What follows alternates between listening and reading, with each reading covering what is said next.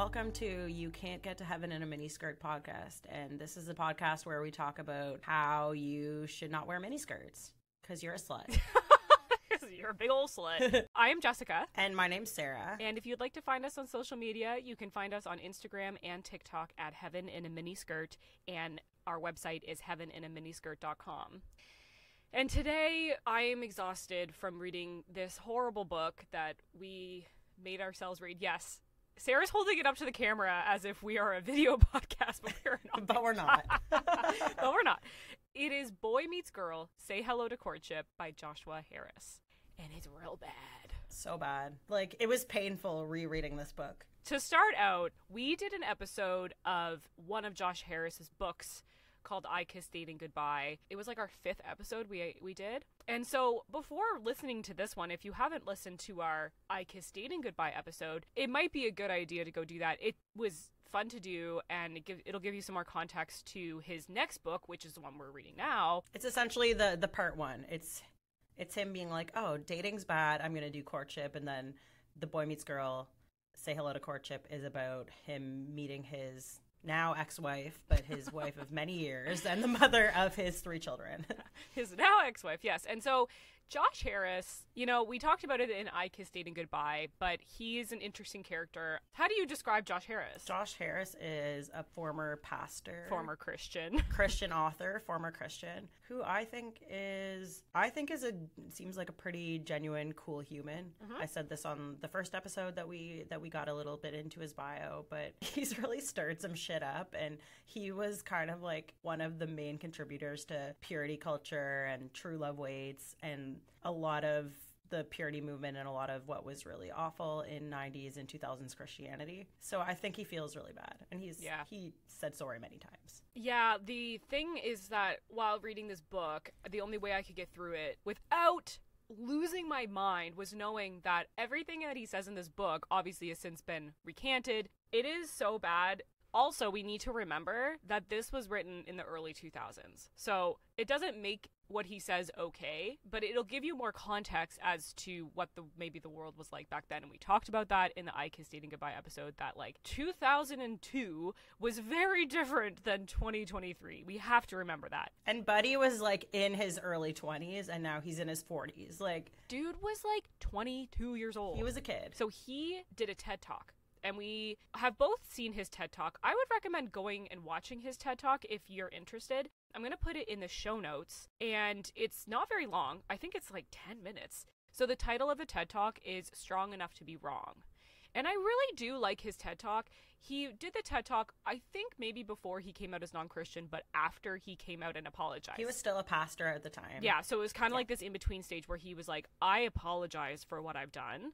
And yet, I'm still a Christian. But it's really, really good. He talks about how admitting that we're wrong will help us evolve and become better people.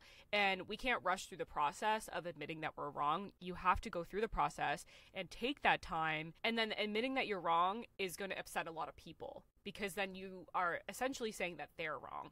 And so that is something that he talks about. And it's really, really good. I mean, admitting that you're wrong is really hard. Like someone like a pastor who probably has a pretty big ego, that would be really hard to admit that you're wrong. And I can't imagine what he went through in this process. Well, he was like screwed on all sides because on one hand you had like the right-wing fundamentalist Christians that this book was like gospel for them. It was a guide to how to navigate dating or what they call courtship, which is an alternative to dating and roles and gender within marriage. And so like you had all these people that were mad being like, "Oh my gosh, you're going to lead all these people astray now because you're saying this approach which worked for us or this approach which we subscribe to is correct. And then you had everyone else being like, "You fucked me up." Like, Yes. I got married at 19 and you gave me like wrong ideas about marriage, about what it is to be a man, woman, a human. People are pissed on all ends and the poor guy can't escape it. He can't. And he's still on social media. Like, I think bravely too, because personally, I would have deleted all my social media and he doesn't. Like, he has a public profile that you can follow.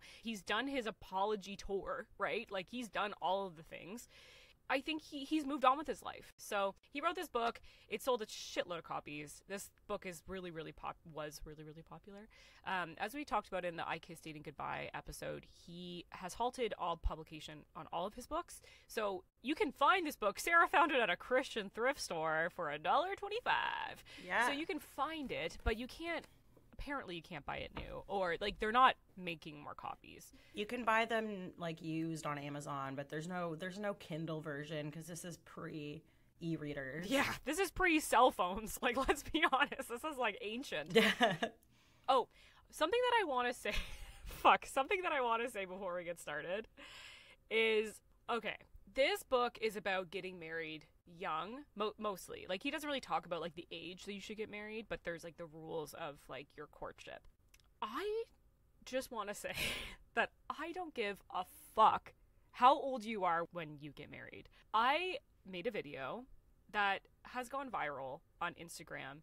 It has almost 4 million views as of right now. I imagine it'll be higher when this comes out.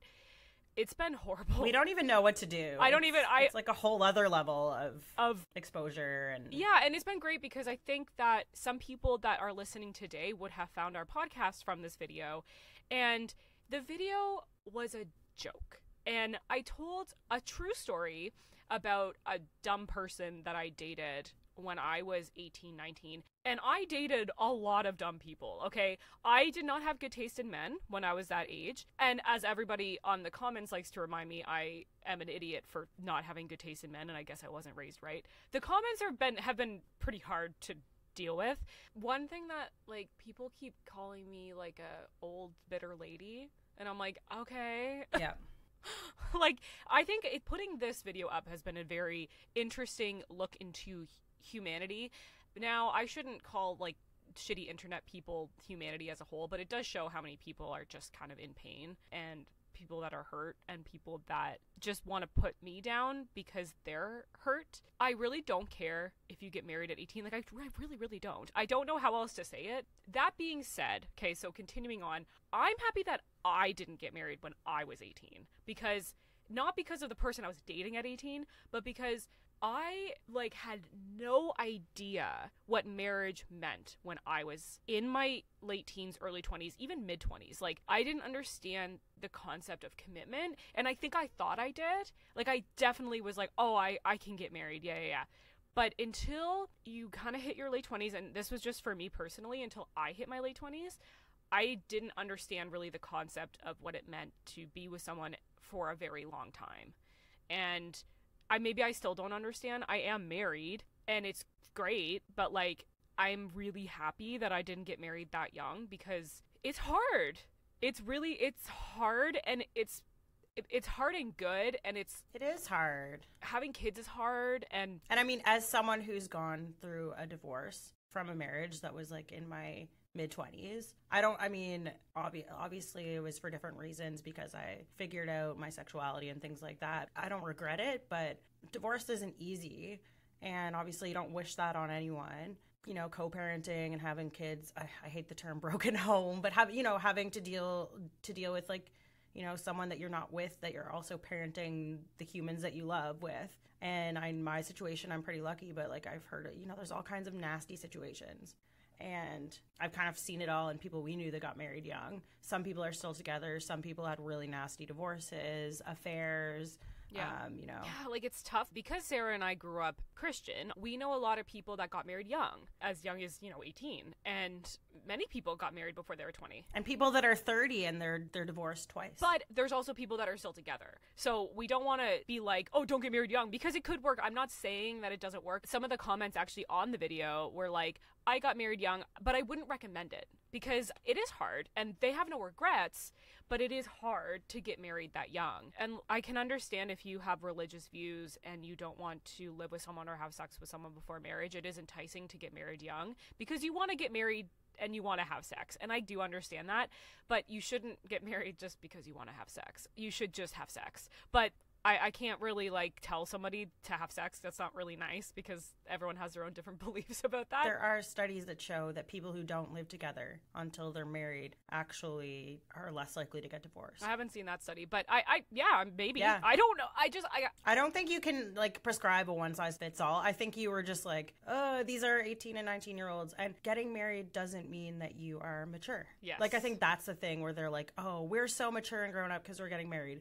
We're more mature than everyone else, and it's like, no, you're 18. Your brain's still developing. Like Yeah. regardless of like how mature you think you are, you still have a ways to go. Yeah, and I think that that's a beautiful thing. I think that's something that I resisted when I was that age was like I thought that I was done developing in my my I thought my brain was done developing. And it's like really not. Like I don't think I that I could have understood though at that age how different I was going to be in my 30s than I was in my late teens early 20s. Thank God too because I really struggled in my 20s and I spend my whole 20s figuring out who I am as a person, and I think that is what your 20s are for. I'm not saying that you shouldn't be with someone. You can make commitments when you're that age. It's not that. Like, you can make decisions. It's just. You can be a good parent. You can like there's all kinds of things you can do. It's just different. It looks different. yeah, and, and it's all personal preference. So I just wanted to, like, say that I don't give a fuck, and it was a joke. Like, I'm sure nobody cares in that's Folks, this is the closest you're getting to an apology from oh wait, wait. What's like the when people get canceled? What's their apology? They're like, I regret my mistakes, and I will be doing better and educating myself. Yeah, and I'm That's exactly what I'm saying right now. I'm going to be silent and I want to amplify voices that are going to bring more perspective on this. So I'm going to be silent on my comments on early marriage and I'm going to amplify the voice of Joshua Harris from 2002. That's perfect. Thank you. Yes, let's amplify this horrible fucking book. So, moving on, I was doing a little bit of research on Josh Harris just before we recorded, and he has a, a website, and he has a statement on his website about I Kiss Dating Goodbye. Like, he has a website for like other stuff, and there's literally like, an entire section that's just like, if you're wondering, I apologize. So, should I read the statement? yeah. It's like kind of long, but I want to read it because I think it'll just be like, okay, this is just like the overview of what he thinks now. Okay, so this is just specifically about I Kissed Dating Goodbye, but I'm sure his other books damage people as well. Okay, statement is, quote, Needless to say, my thinking has changed significantly in the past 20 years. I no longer agree with its central idea that dating should be avoided. I now think dating can be a healthy part of a person developing relationally and learning the qualities that matter most in a partner. In the time since my books were unpublished and the documentary was released, so he made like a documentary, um, we talked about that in the other podcast, my beliefs have shifted significantly. My own marriage ended. I see how damaging purity culture and its ideas about sex and gender have been to so many, myself included. In particular, I've apologized for ways my books and teachings harmed LGBTQ plus people. At the time I filmed a documentary about my reevaluation, I was trying to do so within the confines of the evangelical church I'd found home for so long. But since I've realized I no longer believe in the same way, while I no longer identify as a Christian, I'm grateful for people both within and outside the church who are talking honestly about religious trauma, the danger of purity culture teaching, and the danger of manipulative, controlling, fear based religion. So that's really interesting. That last line, the danger of manipulative, controlling, and fear based religion. When I read that, I was like, whoa! like, so that's his statement. That is a really good overview of obviously what he thinks now. It's a good overview of his TED talk. He does feel really bad for what he said because we are about to get into this book and it is fucked. It is fucked. Yeah, and again, there are just so there are stories from the book that uh, even though I haven't read the book since I read it initially in like 2003 or 4 and then I probably read it again in like 2005, 2006, but I haven't read this one since then and rereading it this week, I was like I legit remember this story. I was like, when is the hammock story going to come up? And I'm like, oh yeah. The hammock, story. Oh, the hammock. I have Oh, I have like, it dog eared in this book because I don't really give a shit about this dollar twenty five book. Yeah, oh my god, I can't wait for the hammock story. That's later though. We got to get through quite a bit. The hammock story's so stupid. So, we, and we actually talked about that in the other episode, but Yeah. so that is a good overview. I just like I want to make sure that people have a really good context of where we're coming from before we start uh, reviewing this book. So, he was 24 when this book was published. So, he wrote it when he was like 22, 23. So, Yeah. it's not good. So, what you're basically about to embark on is marriage and relationship advice from a 23 year old. Like, I'm sorry. like, what the fuck? I can imagine though, Sarah, you read this when you were 13, 14. 15, And yeah. getting relationship advice from a 23 year old probably was like, oh, wow, like this guy knows what he's talking about. Well, I mean, our youth leaders and youth pastors weren't that much older than that, right? These are the people that we put on a pedestal and we're like, this person is so wise. And they're giving me a formula of how to navigate all these hard teenage issues from a Christian perspective based on the Bible. You're like, this is gold. Like, this is what I need to do to have a happy life. Yes. And you're like, all I have to do is follow these set of rules and everything will be great. And I think that's kind of the downfall of this book is that, like, so many people were like, I followed every rule. And then I got married and it did not work out. And it's so harmful. Like the way he presents gender, the role of men and women, it's just, it makes me so uncomfortable because I just keep having flashbacks about like certain stories. Like I remember one of my friends that was really into this book as well. And she, at the time, after reading this book, she was like, I need to make room for my boyfriend to pursue me. Keep in mind, she was 14 and he was 16, and she would not call him because back then we didn't really text as much. Like she would never call him. He had to be the one that called her because she's like, I need to make sure that he's the leader. And it's so funny now because like she's still a Christian, but she's a huge feminist, super pro LGBTQIA rights. Like she's, She's not subscribing to this shit.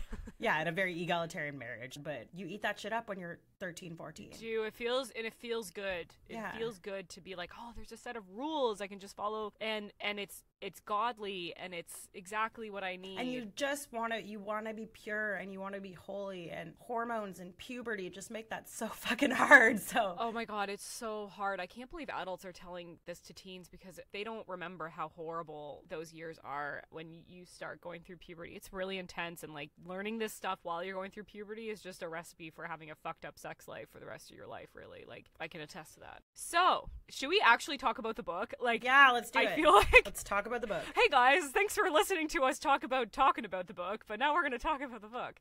So, the intro, uh, the beginning of the book describes his feelings about his soon to be wife. Her name is Shannon. In what I can only describe as like an insane manifesto by a teenager. Like, he describes how he like is crushing on Shannon and basically telling everyone he knows about it, looking for like counsel, and because he needs to know if this is like God's plan. And he like won't ask her out, but and this goes on for months apparently before he even asks her out. And I'm like, just ask her out, dude. Like, if you like her, it's okay. Like he's like he's not okay with liking this woman. But she didn't have a godly father that he could go ask to, right? Yeah, that's a big one. Is that Shannon was a what a born again Christian? Is that what that would be called? But before she got born again, Shannon had sex. She had lots of boyfriends and lots of sex. So, okay, he defines courtship. So he says, What is courtship? It's dating with a purpose. It's friendship plus possibility. It's romance chaperoned by wisdom. That's what I mean by setting a clear course for romance. It's not without risk. It's simply a way to be careful with the other person's heart while opening up your lives together to God's joyful best. So that is the definition of courtship. It's like friendship with the intention of possible eventual marriage, but you're under the guidance of Christian, godly men in your lives, and you go on group dates. Can you imagine just like the validation you would feel from the church if you went through a courtship like this and had all those people helping you out? Like, that's very enticing to teenagers being like, oh, they're validating me. I feel like an adult. I think there are positives to having adults and people that have been through marriage struggles that are older in your lives that are going to like support you as a couple. I think that's the whole point of like a wedding where people are like we're standing with this couple and we are going to we are going to like support them and help them through hard times. Community. Community is important for anyone. He does have an entire chapter about community. Yeah. But it, yeah, absolutely. So this book, like his book, I Kiss Dating Goodbye, is in three parts. He loves to split. He loves lists. He loves to split things into different parts. This is a big thing for Josh Harris. I also just want to say that this book is just so poorly written. It was just it was painful to get through because it's just like inside the mind of a homeschooled 23 year old boy, and he talks with such confidence. It's just But I think that's what it made so appealing to people because he's speaking with such authority. He's not like just like this is a way. He's like this is the way. This is how you do it.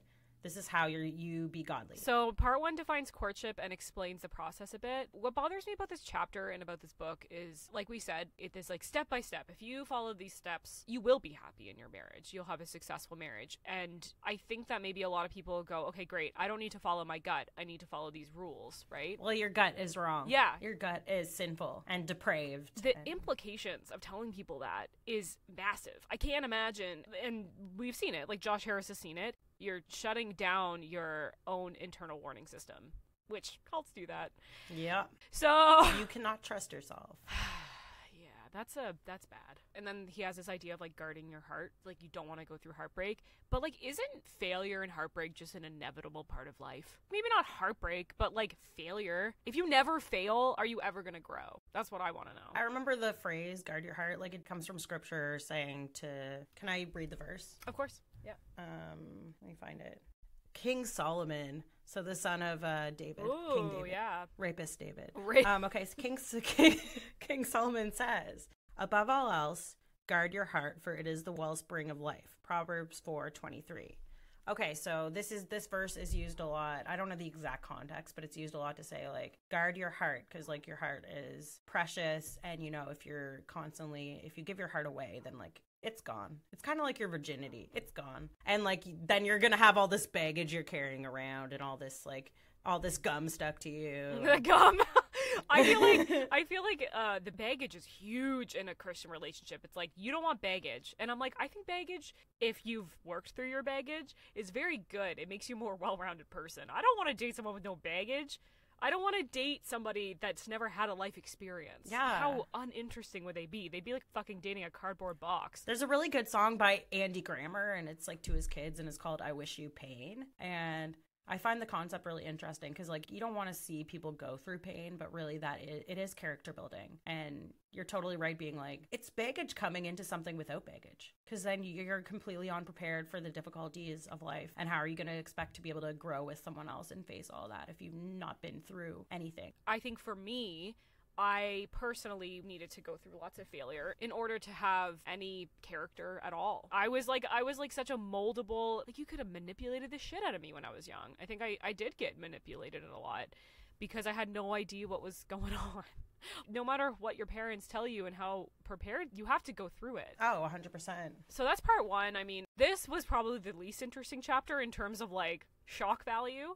Um, but it just kind of defines what a courtship is and it explains the process of like it's always the man that pursues and we talk about gender roles later but the man has to pursue you talk to her father hopefully he's a godly man and then you make a plan for your courtship and then you'll bring the daughter into the mix later And this is not arranged marriage, he says. it's no because you can still yeah i mean it's not arranged by the parents but you i mean what the fuck is the difference honestly so part two jumps into the practical issues of what he calls the season of courtship.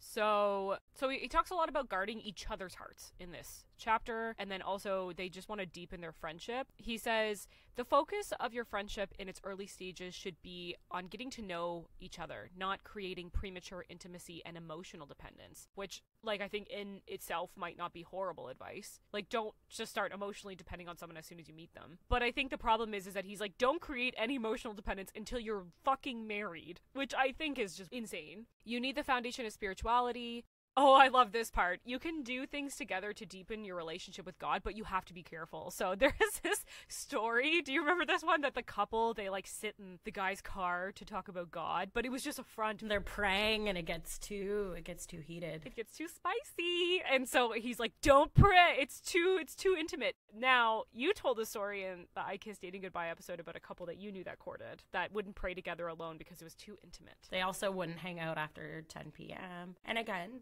they made their choices and they were very, very judgmental of anyone else that didn't follow their choices. And now they're divorced. Anyway, that's just And I'm sorry that they're divorced. Of course. So, and you, you shouldn't be like sexually accountable. Like you, your accountability partner should not be this person because nothing should ever be of a sexual nature. Your primary source of accountability, like for your sexual sins or lust or masturbation, should always be members of the same sex. So, next is the gender roles within romance. The first quote says, Men, It's our privilege to be initiators of romantic expression in our courtship. And ladies, I love how he says ladies. It's appropriate for you to respond to the guy's increased romance. Your goal should be to match, but not outpace him. Oh yeah. Oh, and then before we jump into generals, he just says something quickly about how, like, when you should say I love you to your partner. He says, There's no hard and fast rule here. We need wisdom. I chose to say the words I love you for the first time when I asked Shannon to marry me. Can you imagine dating somebody? and they don't say I love you until you propose. No. That is so fucking backwards. It's the principle of like we have a very rigid legalistic formula here and you should follow it. You should not go with your gut.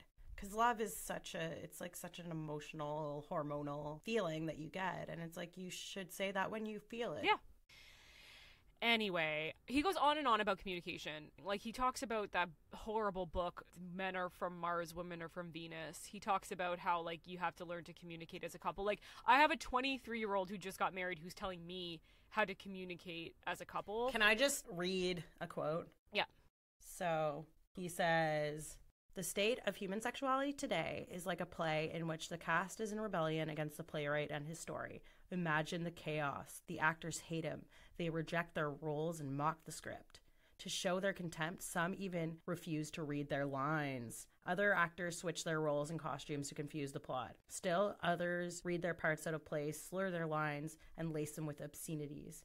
This is a picture of the wicked perverse generation which Christians are called to shine like stars. It's the generation of the, in quotes, transgendered, Trans- in which men act like women and women act like men. And it's amidst the chaos that God wants his children to be faithful to the roles that he assigned us, even though the majority of humanity has abandoned them. I have this quote in my notes too. And then he goes on to talk about how women are equal but different. We love equal but different.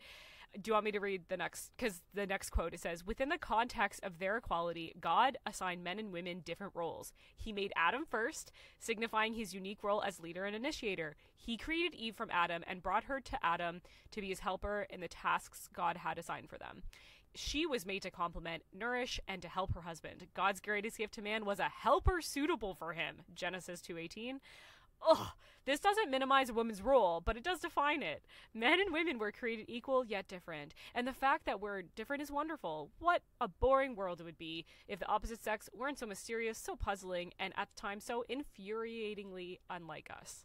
And this this is the problem. This is the number one problem within patriarchal societies. It's assuming that women are other and different. When you look at the normal curve in terms of like men and women, there's so much more overlap. We are so much more similar than we are different. Mm-hmm. And there's so much variation within men and women. And I just hate this. I just hate this. And I'm quoting men and women because what does that even mean? Apart from chromosomes and like hormones like what what differences do we actually have that aren't reproductive that should limit us from doing things Yeah. So fuck. can we talk about the roles can we just go, go through his list and talk about our thoughts Uh huh.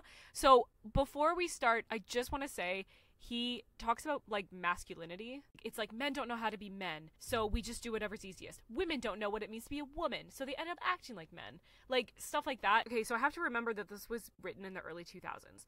So I have to like, like I have to keep telling myself that because I'm so mad. This brought my passion from 0 to 100 when I read this. Like I was like, "What?" And yes, he has since recanted everything he said, yet it's still written down and I'm still mad. So, and people still think like this. well i mean i in my teen years we've gone into the facebook vault we don't need to pull those messages up again we talked about them last time but like i honestly even said you know make space for men to lead like i was getting into that rhetoric like and it never it never felt right but i just could not reconcile what was said within scripture and how it is interpreted within the, the very conservative charismatic church that i went to Yeah, you just want you well, you just want to fit in. One thing that this makes me think of these quotes about how like women are equal but different is that it's almost like I feel very patronized by a man who's like, "Well, I still want to be the leader. So how do I make a woman feel important about her role without actually giving her any leadership?" It's like, "You know, you're so equal, but not actually. You're below us. But like, don't worry, women. You have a role to play." It feels really patronizing. Equal but different is the dumbest fucking thing because you're like, you're equal, but you don't get to make choices. So, so it's not like you know what I mean. But you're you're equal, but you're under my authority. Like that's not how it works. Parents are not equal to children. Yeah. Like you're not. You know what I mean? Like parents make the choices. So are we ready, Jessica? Can I read out the the Let's Be Men one? Oh, now that we're really really mad, Yeah. we're really like our our voices have gotten much louder and much more high pitched since we started this recording. Oh yeah. Okay, so there is a list. You say I don't think I have. There is a list. So for men and women, he gives like four tips. So we'll start off with the let's be men. So number one for let's be men is assume the responsibility of leading and initiating in your relationships with women. And he goes on to say that this doesn't mean that you treat women as if you were their husband and the one to lead them in important life decisions. Even during the season of courtship, it isn't your place. Until you're a woman's husband, she is under no obligation to submit to your leadership. Actually, I, I would like to beg to differ, Josh. A woman is never under obligation to submit to you. But anyway, go on. But if she has a Christian father that offers protection and oversight, that should come from him. Oh, but Yeah. And he uses examples of like of how that, you know, if people are planning get-togethers that the guys can plan the get together because like the women always have to make the decisions and women just hate that. what?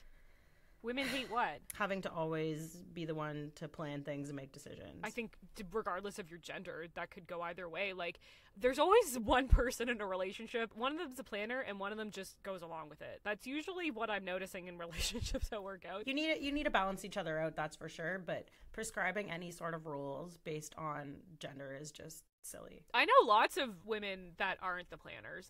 You know, we're not even talking about same-sex relationships, obviously, because he only recognizes a heterosexual. Because he doesn't talk about them. And No, yeah. So number two. Wow. Oh, that was only number one. Oh my god. That's number one. So number two is be a spiritual leader in your relationships with women, and it, he's talking about ways that you can sort of practice. So before marriage, let's practice leading in biblical fellowship with our friends, and during courtship. Then we'll be that much more prepared to do so with our wives and children. So, in the Bible, it says that the man, the husband, will be held accountable for the actions of his wife and children. Like, so he is the one that God will, like, I mean, the woman's still going to be held accountable for her sins, but like the man is also held accountable. Like it's his responsibility to make sure that his family is godly. So that sounds like an awful burden to place on. a 20 a 20 men. year old man. Yeah. You're only you are only responsible for your own actions. Actually, it would have been interesting to talk to a man about like okay, so we are two women who grew up in the church and it'd be interesting to talk to an ex-Christian man about what they thought about this book, but Nah. so okay. Number three, do little things in your relationship with women that communicate your care, respect, and desire to protect. Like what? What things that they could do. Um, like what people might call benevolent sexism, like opening up the door and pulling out the chair and paying for the meal and like Like gentlemanly stuff. yeah, gentlemanly stuff. I did have a boyfriend back.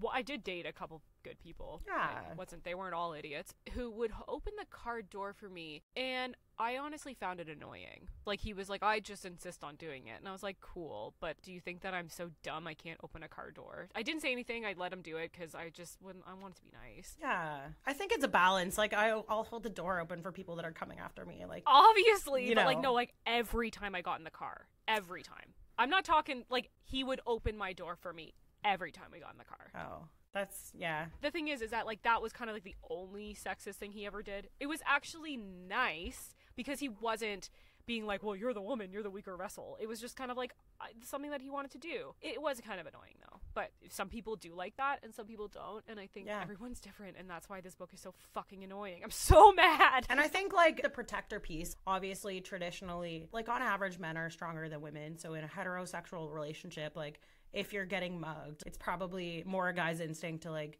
punch the guy instead of like throwing you towards the guy. yes. So like maybe there's like a physical protector aspect. It is nice to have somebody that is like I'm weak, Yeah. I'm physically weak. It is nice to have someone stronger than me. But like it is not a prerequisite for me choosing a partner. No. Because I've also dated guys that are definitely weaker than me. I think it's so it's very demeaning. very demeaning, very short-sighted, very black and white. Yeah. By living my life up until now, you learn nothing is black and white. And he's clearly a person who is in his early 20s while he's writing this. Like it is just so apparent reading this. He's homeschooled. He's never like left his hometown. And it's so funny because like the the concept of like female domesticity and like the woman being at home that didn't really even exist during biblical times because it was like pre-industrial revolution. People weren't going out to work.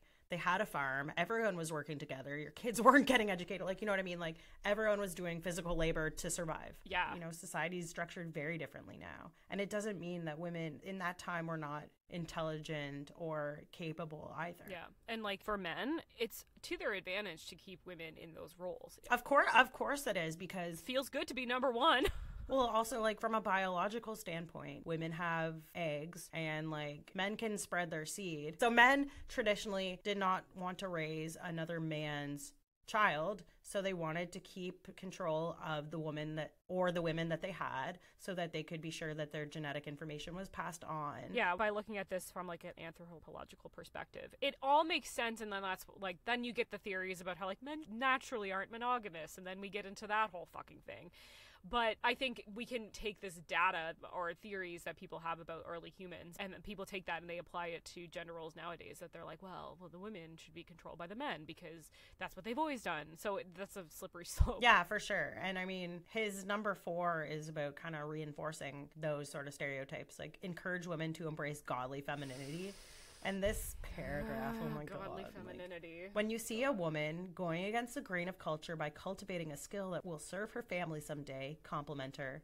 When a girl is pursuing a demanding career but is still being feminine, let her know that you notice. Let her know you respect her. Oh, that is so patronizing. What is being feminine? Like, you can still be a career woman, but be feminine. Like, what the? F- what does that even mean? These are just Biblical femininity is something that I see a lot on TikTok in like the traditional wives TikTok and like kind of anti-feminist TikTok, which does exist by the way. I think that people don't know what the definition of feminism is. Okay, the definition of feminism as I understand it is women should be able to do whatever the fuck they want. Yeah, everyone, everyone should be able to do whatever the fuck they want. Equal social, political rights for everyone. Men, women, non-binary, everyone should just like do whatever the fuck they want, okay?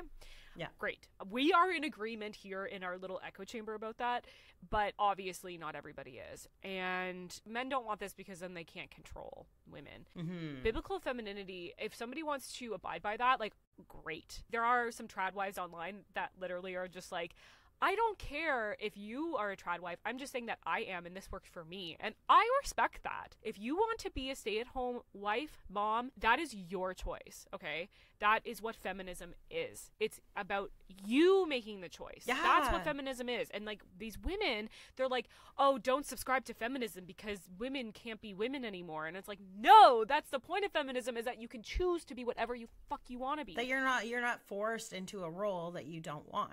If you want a traditional role, what society is going towards, hopefully, as we try to fucking progress. For the love of God, can we progress as a society without old white men telling us not to progress? Is that people should be able to do whatever the fuck they want to do if it's not harming somebody else. Yes. Somebody might take my argument and tell me that I'm saying that women shouldn't be staying at home and that women should go to work and this and that. And what I'm saying and what I've said 50 times is that women should be able to make whatever decision they want to make in their relationship or outside of their relationship or whatever. Like that is what feminism is. And I find it but these ideals in this book, these rules on how to be godly men and women, if you are in a relationship with someone that is not a good human, if you're as a woman and you're in a relationship with a man, like this opens up the possibility for all kinds of abuse. Yes. Whether that be sexual or financial or emotional or even physical. Yeah. I'm not saying that this book's like we're promoting abuse, but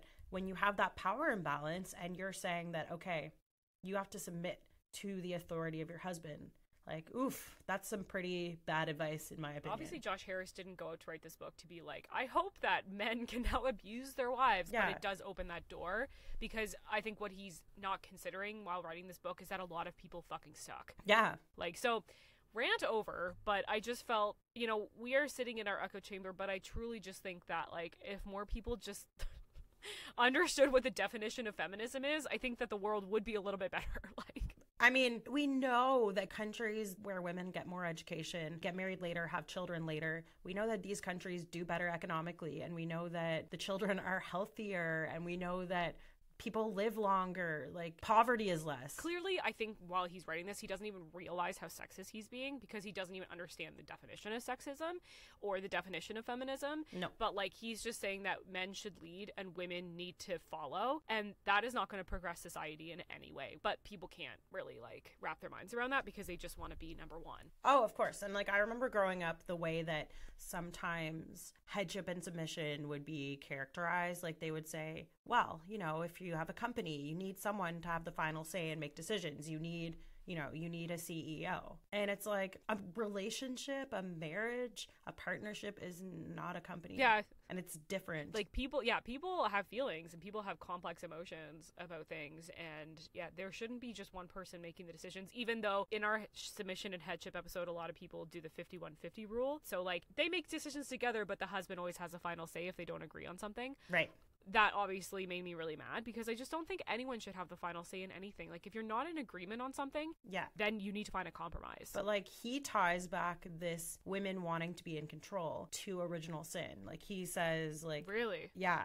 Man's biggest temptation is to be passive, like Adam was. Like Adam wasn't there protecting Eve from the snake. And woman's biggest temptation is to take control. Whoa It even says, like, in God's curse to humanity after they've eaten the apple, he says, like, to the woman, like, you're going to have pain in childbirth. And also, like, your desire will be for the man, but he will rule over you. They're like, this is a result of sin. And i in the perfect world, the man would be protecting the woman and she wouldn't have gotten led astray. i just want to say like how convenient for men that this story exists How convenient. how convenient Do you want to hear his advice for women? I do. Am I going to be even more mad than I am right now? Because I'm not sure if it's possible. Wow.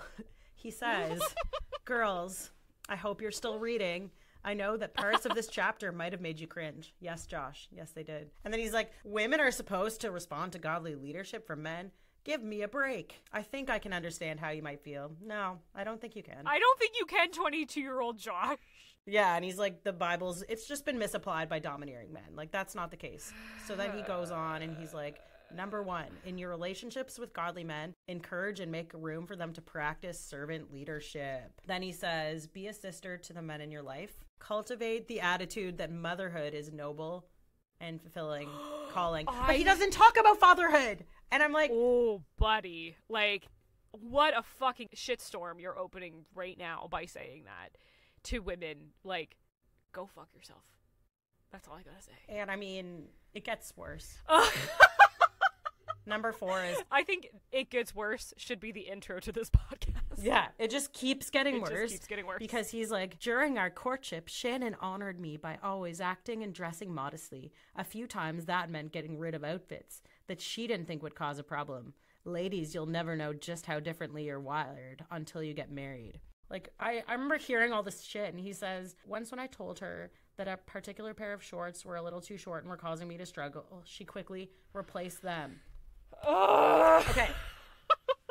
that has red flags for abusive relationship all over it if you are telling your partner Yeah. what to wear. But he's like, but it was good intentions because I don't want to stumble. And I'm like, okay, if what I'm wearing is causing you to stumble, how is that my problem? I'm not walking around naked in front of you being like, don't look. it's like the meme we saw that was like instead of telling women to dress more modestly, why don't you gouge your eyes out like Jesus said?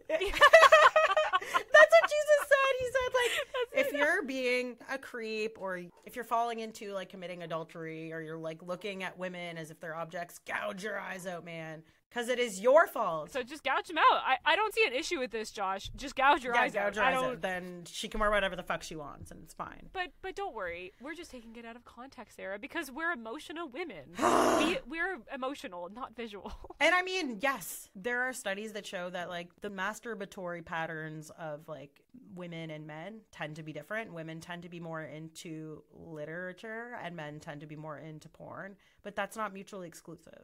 And if you are taught that women's bodies need to be covered and you aren't like a if it's not normalized just being around like different types of human bodies, you're to be shocked when you see like an arm or like god forbid some cleavage or like some thigh. Oh, and you were homeschooled, so it's not like you even went to school and saw other women. Yeah. that's his social circle was his church. Yeah. So he grew up in like what I'm assuming is like middle class America. He was homeschooled. He grew up very Christian. He ended up being a pastor. Like, what kind of worldview does he have? And it's very, very limited. Do you want to know what kind of worldview he has?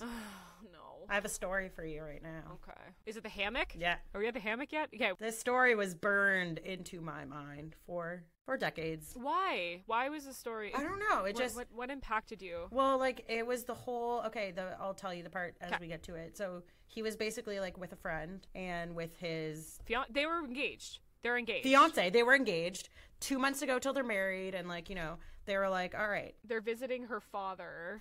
they're visiting her father, and like let's cuddle in a hammock. And so one of his friends was like, "Don't do it." No, no, no. That's not his friend. He's having the argument in his mind. Oh my god, he's having the argument in his mind. You're totally right. Yeah. so, so basically, the chapter is an argument he's having with himself while napping in a hammock with Shannon.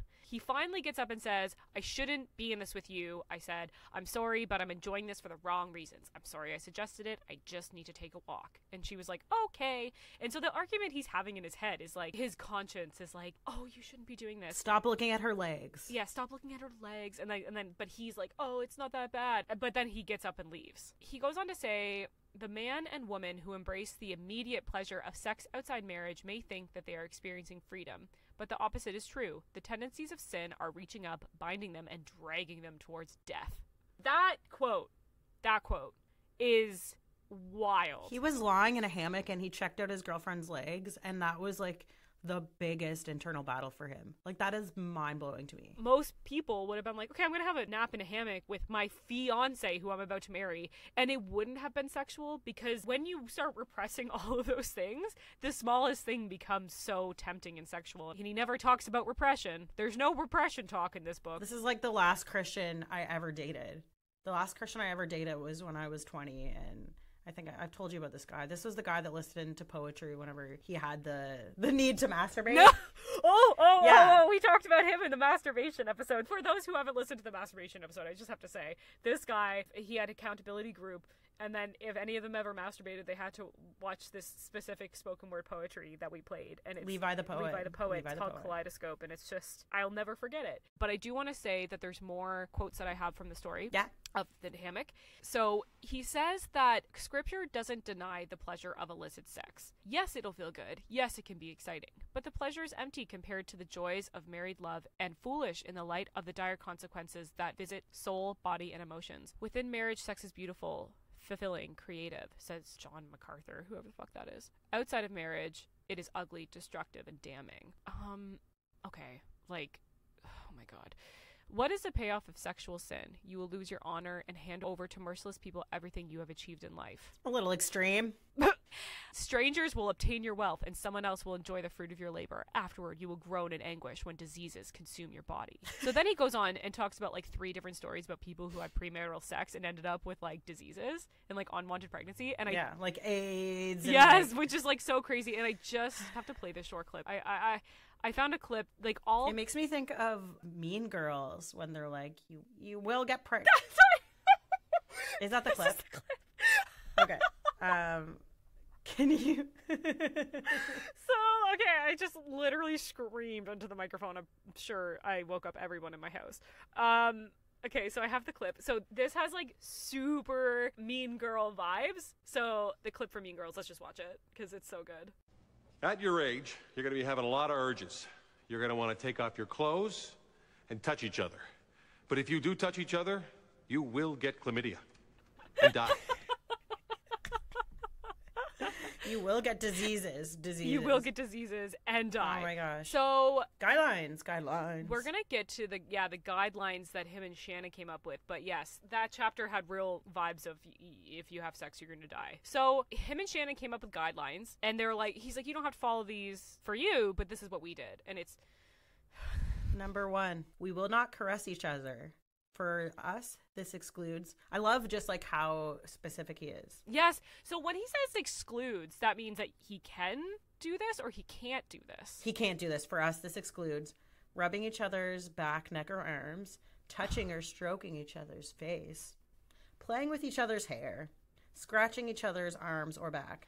Like Oh the fact that he sexualizes these simple actions is just alarming because this is what as parents we do with our children to give them affection. Like these are affectionate. These are not sexual actions. Can you imagine marrying someone without even just like touching their arm? or cuddling? Okay, n- which is the next guideline. We will not quote unquote cuddle. So what does that exclude? For us, this excludes sitting entwined on a couch to watch a movie. Ooh. Got to keep a Bible between you. That was a rule. That was a rule at Christian camp. Six inches. Six inches. Six inch rule between genders. Leave room for Jesus. No leaning or resting on the other person. No lying down next to each other. No playful wrestling. Oh, playful wrestling. That's an interesting one because that could turn sexual real fast. So that that is like I don't agree with it, but I'm like, okay, I can see how that's the only thing that could turn sexual. Yeah. So what do you do when you are watching a movie? You sit on different couches? No, no, no. He's going to tell you what you can do. So, no, no, no. We'll get there. Oh, so sorry. Oh my god. Number three. We will guard our conversation and meditation. For us, this means not talking about our future physical relationship. That's good. We can't have sex and we also can't talk about it. Like I, I understand you don't want to like talk about really erotic stuff, but like maybe you should make sure you're on the same page about lots of things before you get married. Anyway. Not thinking or dwelling on what would be sinful, not reading things related to physical intimacy within marriage prematurely. Okay. Oh, okay. We will not spend undue amounts of time together at late hours because we're more vulnerable when we're tired. Even if we haven't compromised, please ask us if we're spending too much time together at late hours. Again, not bad advice if you don't want to make a bad decision when you're tired. This is giving me like real fucking flashbacks. They put these guidelines on Shannon's fridge. Her roommates put them on the fridge for her. Oh that sure as hell was not on our fridge when we were that age, Jess. when we lived together. Yeah, because I guess we would have lived together on this age. Yeah, that wasn't on our fridge. yeah. So number five is what you can do. So appropriate physical expressions during this season include holding hands. So you can sit next to each other on the couch and hold hands. Okay. Josh putting his arm around Shannon's shoulder. Shannon cannot put her arm around Josh's shoulder though. That's exactly what I was just gonna say. Can she do it? No. Okay. Brief side hugs. Oh, brief side hugs. I love a side No hug. full frontal. I love a good, yeah, an awkward like side Oh my hug. god, side hug. Can you imagine be like, we're engaged? Me, side, side hug. hug. You're engaged and you haven't even hugged. Like, guys. And I've been to weddings where the people had not slept together. I've been to weddings where the people had not kissed before and they shared their first kiss on the altar, their first kiss with anyone. That was their choice. And, like, you know, some of these people are still married and happy, some of them aren't. I personally would not, that would not be my point of view of something I would do in my life or recommend to anyone. I am imagining so many people who started courting and they're like, well, if I follow these rules, I'll automatically be sexually compatible with my partner. And then they're not following their gut because sometimes you can kind of be like, oh, maybe I'm not really that attracted to this person, but don't worry. Once we get married, God will provide. And then they get married and nothing fucking changes. I am sure this has happened many times. And I mean, like, even Josh Harris in his book, the picture that he paints, he's like, we barely had to leave the bedroom on our honeymoon because we had such a great time delighting in each other's bodies. so much sex. Do you know how many Christians I know or people that have deconstructed that this view of sexuality and all the guilt around it has actually messed up their ability to have sex? I'd like to raise my hand because this view of sex gave me vaginismus, and that particular disorder, a lot of the times it's psychological It's a lot of tension and tightness in your pelvic floor. because of guilt. Like the mind and the body connection, you can't just like sever that after years of conditioning. I was lucky that my mom, I was able to talk to her about this and eventually got through it, at least physically got through it. Mentally, it took many more years of deconditioning to be able to be like, oh, I can have sex. And I'm married, so I'm now within like, you know, having marital sex. and still sometimes it pops up this guilt.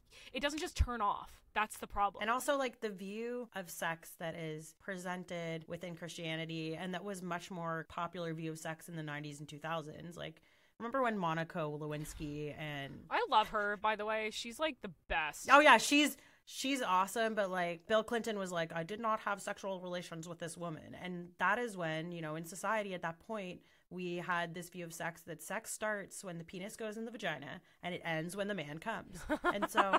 when there's zero agency that's taught to women about their sexuality, their body, and when it's all centered around the man's dick, it's just this very narrow view of sex. And it doesn't leave space for anything else. It doesn't, it's just not healthy. Like human sexuality is so much more than just P and V. I hope that Josh is telling the truth in this book and that him and his wife for a long time had a good sex life. I hope that's true. Yeah. And I think there are a lot of Christians that do go on and have good sex lives. But for some people, it has long term psychological issues. So we've talked about this in past episodes, but when I was in high school, I was in a Christian relationship. And we talked years later, and we were both just like, I wish we would have just like fucking relaxed and just like not been so intense. Yeah. Like the amount of like mind energy. Anyway, so so I don't have it's not in the Facebook vault. Unfortunately, I just checked, but I do remember it must have maybe it was on MSN or maybe we were texting like regular people. But it's not in the Facebook vault, but we did say I wish we would have just been a little more chill because I don't think we ever would have stayed together. But at least we wouldn't have been so insane and damaged and that relationship was so bad. Do you want to see the worst thing I've ever found on the Facebook vault? Oh no. yes. This is April 22nd, 2007. and I don't remember doing this, but okay.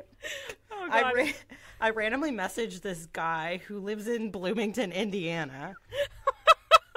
and I'm like, oh my God, someone rein me in. I can't. Okay.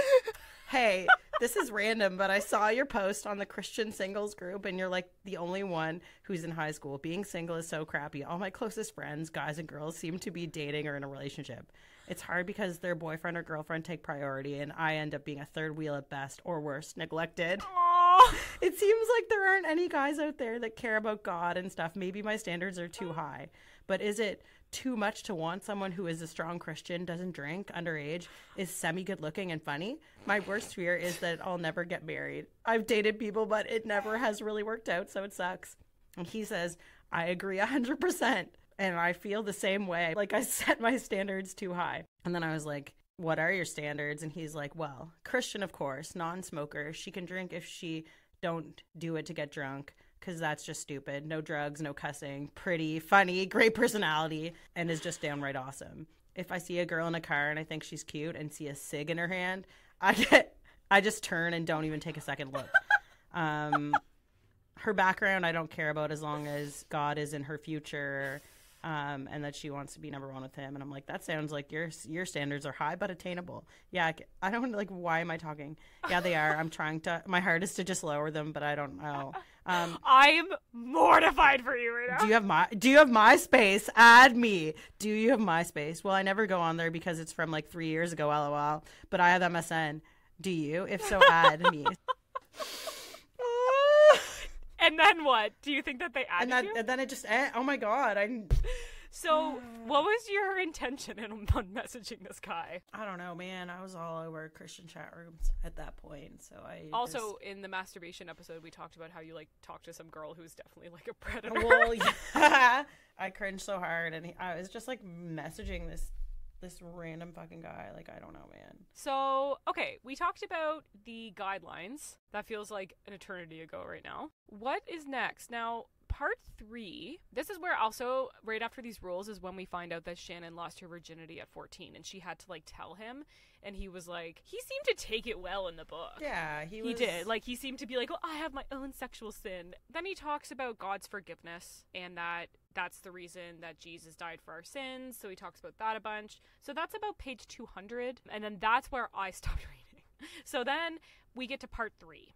I think. I don't think there's anything good until part three. So, uh, part three is when couples are more serious about moving towards marriage in a God honoring way. So, we'll see how God's grace can help us face the sins from our past. So, that's when he talks about forgiveness. So that if we lustfully looked at a woman when we were 15 years old, that he has forgiven us for that.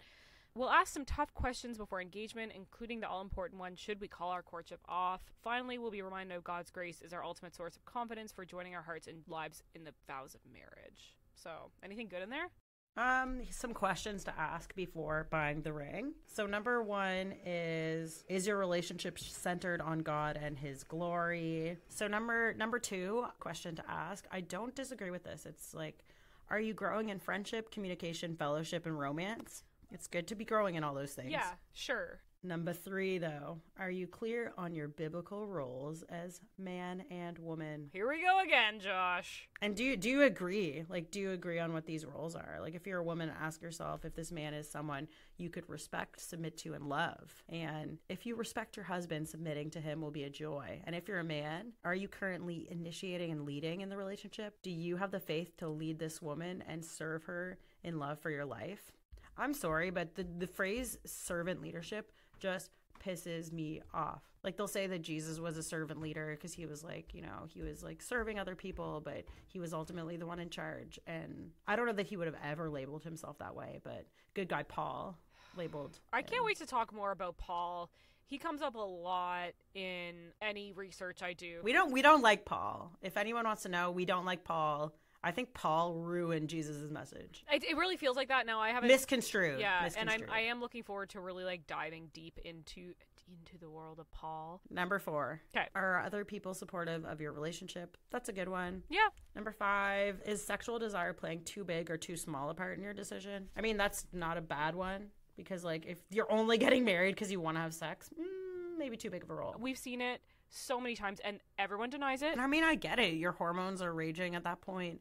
And there's even a verse in the Bible that says it's better to get married than to burn with passion. There you have it. Guess who said that? Paul, Paul. fucking Paul, man. Paul, Paul, Paul, Paul. Fucking Paul. Number six. Do you have a track record of solving problems biblically? If you're a Christian and your worldview is based on the Bible, I don't see that as a bad one, I guess. Are you heading in the same direction in life? This is a good one. That's actually a very good question. Yeah. Number eight, like, number eight, I see. Ugh, I just, I don't like it. Have you taken into account any cultural differences you have? What is that? My friends Corey and Kathy got engaged only after they had seriously considered the challenges that they would face in an interracial marriage.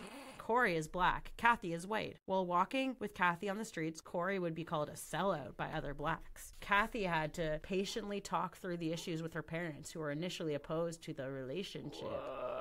Are interracial marriages unbiblical? Definitely not. But they should not be approached thoughtlessly. Um,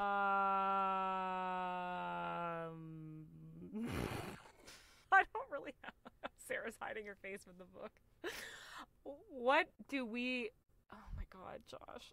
I remember when we first started reading this book for this episode, and you were like, "There's racist stuff in it," and I was like, "Really? I don't remember. Like, I hadn't seen it." And here we are. Um, why do we even have to talk about this? Yeah. if you have cultural differences in your relationship, if you are dating someone who is from a different culture, I think you're aware of that by this point. But just because there are racist people that are calling them out on the street, that's not a them problem. That's a racist people problem. That's not the couple's problem. Yeah, that's just racist fucking people. Oh, Josh. Fuck. Jesus Um, do any of you have complicating entanglements from past marriages or relationships? Oh, wow. Okay. Again, things that you, you probably have discussed before you get engaged to someone is what has your life been like up until now? It's like, it's as if they're not even talking. The best one though. Number 10, do you want to marry this person That's that's the last question. one. That's the last question. before you get engaged? the final question you should ask yourself Do I want to marry this person? And does this person want to marry me? Wow. The final question out of 10 questions about whether or not you should get married is do you want to? Oh my god. Getting married is your choice. You are the one who will affirm the vows and say, I do. No one and no leading can constrain or compel you to make these vows. I am horrified. I'm horrified that that is the last question and not the title of the fucking book. I'm sorry. I'm shook now. So, um, is that kind of the end of the book? That's the end of the book. Yeah, basically. I have a question for you. What? Would you like to know what Sean McDowell thinks about courtship and dating? Yeah, I would actually. I have a little video. Okay. How far is too far? Well, if you're looking for a Bible verse to answer this, you're not going to find it. Because the Bible doesn't talk about modern dating. People would get married because it was arranged. But today things are different. Well, the Bible again is not going to tell you exactly if you can kiss or how long you can kiss or where you put your body, but the Bible does something very different.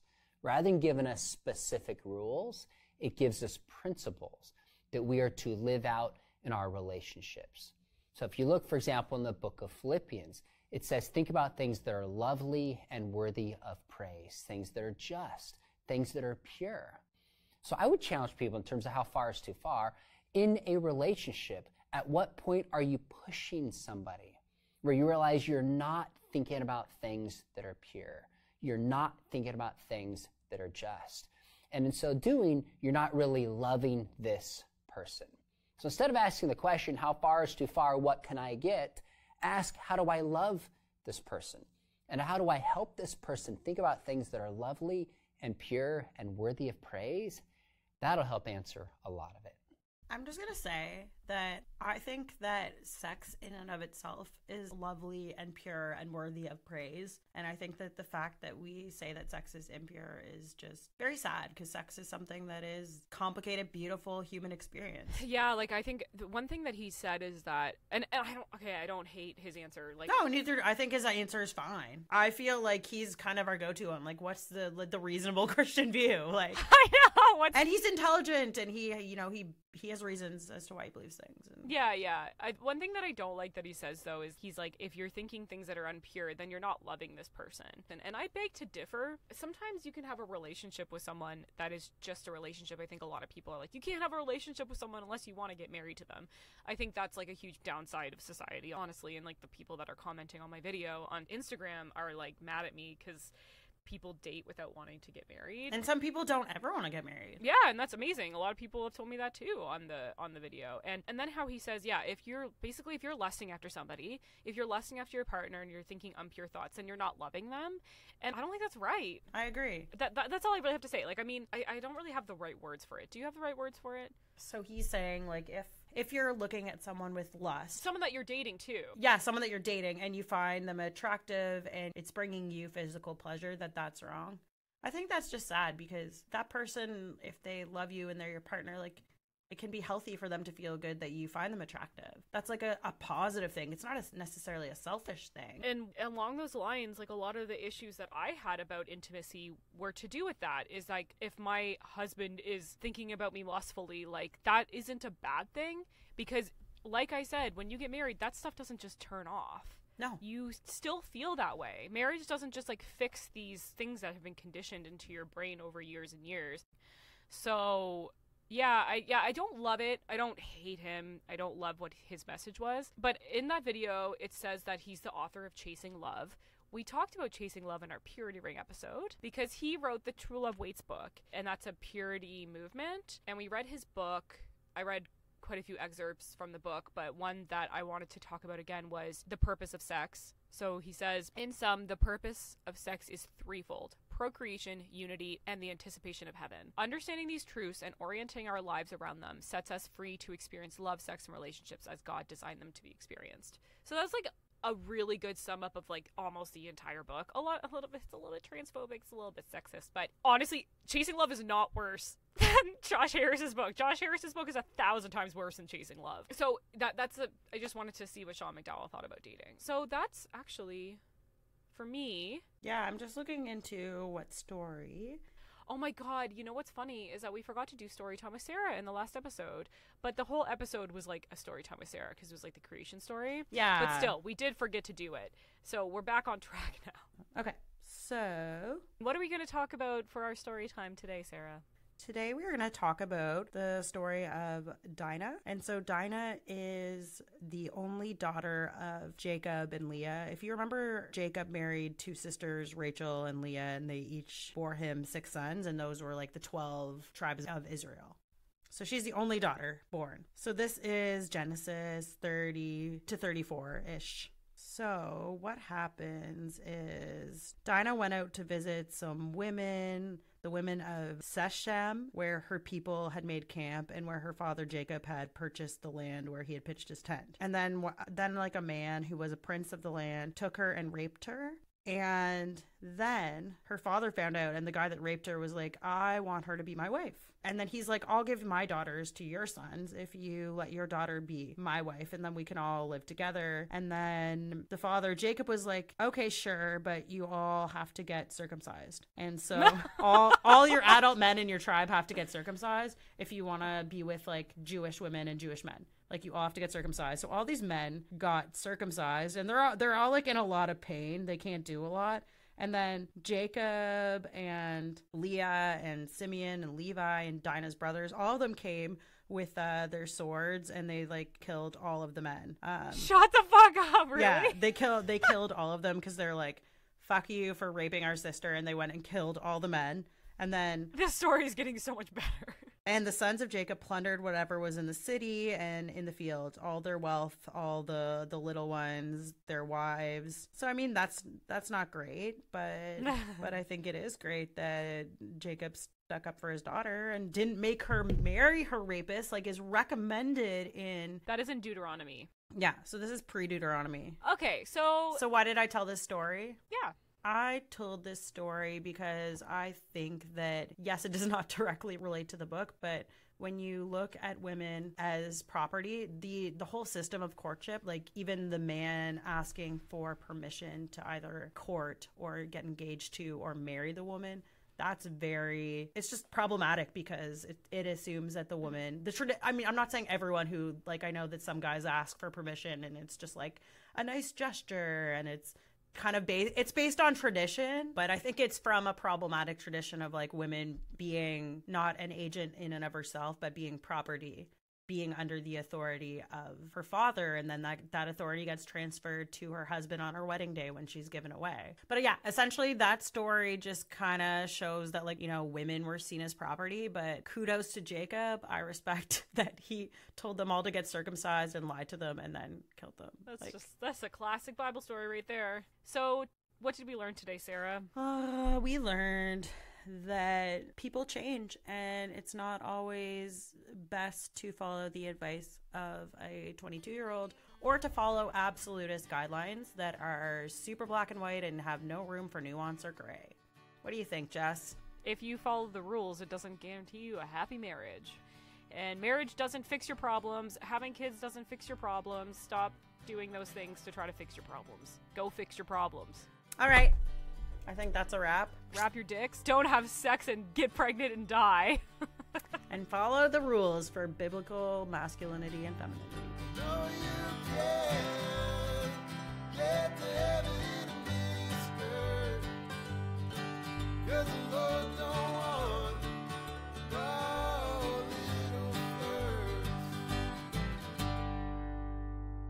We are firing on all cylinders today. Oh, I think reading that book gave me less brain cells or something. Holy shit! Yes, I I agree. I am also stupider after reading this book. Yeah. All right.